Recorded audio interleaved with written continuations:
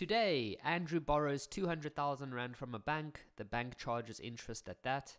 Andrew will make repayments of 6,000 Rand at the end of every three months. His first payment will be made then. How long will it take to settle the loan? Okay, so this is a grade 12 financial maths question.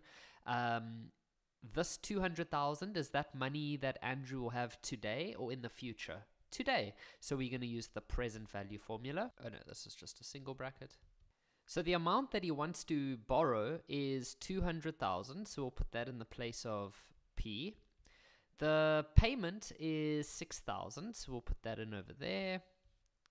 The interest is 5.25%. Now, they said it's compounded quarterly. So we'll put a 4 over here. And then for the number of payments, remember it's always a negative in this formula. Now, because this is a 4, we're going to put a 4 over here, and then we need to get the number of years. But let's first talk about something. We, because a lot of learners, they're going to look at this here and they're going to think, oh, he made, he, he misses two payments. But remember, when you are compounding, let's quickly talk about your first payment. If you're compounding monthly, then when should you make your first payment? After one month. If, however, you are compounding quarterly, then you make your first payment after not four months, it's three months because there are four quarters in a year, but that means every three months three, six, nine, twelve. So you are only supposed to make your first payment after three months or in three months. Um, we could say here in one month and in three months. And that is exactly what Andrew did. So everything in this question is perfect.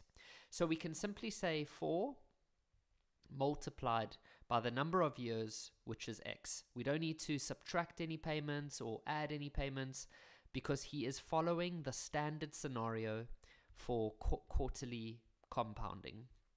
Okay, now the way that we're going to solve this is we're definitely going to have to use logs. So because of that, I don't want you to round off because logs are very sensitive to rounding off. So we're going to take this part and we're going to multiply it up and we're going to bring this part to the bottom. So that's going to end up giving us um, 200,000 multiplied by 0.0525 over 4. And then at the bottom, we're going to have 6,000.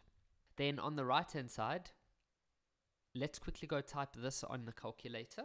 And that'll give you 1621 over 1600 to the power of negative 4x. We can keep it in a bracket like. Okay, then you can also type this on the calculator. So if you go type that on the calculator, keep it um, keep it as a fraction. So that'll be 7 over 16. So let's actually write that over here.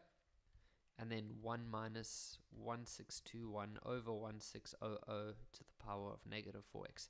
Okay, now, because this is negative, let's take it over to the left, and then we'll bring this over to the right. So we would end up with that, and then that. And then this I'm quickly just going to type on my calculator. And if you do that, you would end up with 9 over 16.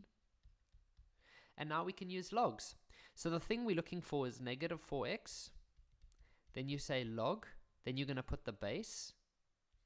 1621 over 1600. And then this part of here. 9 over 16. So you can go ahead now and type all of that on your calculator. And so you should end up with negative 44. 1, 2, 4, 3. We can round off now because we finished with logs. Then to get x alone, you just divide everything by negative 4. And that should give us 11.03 years.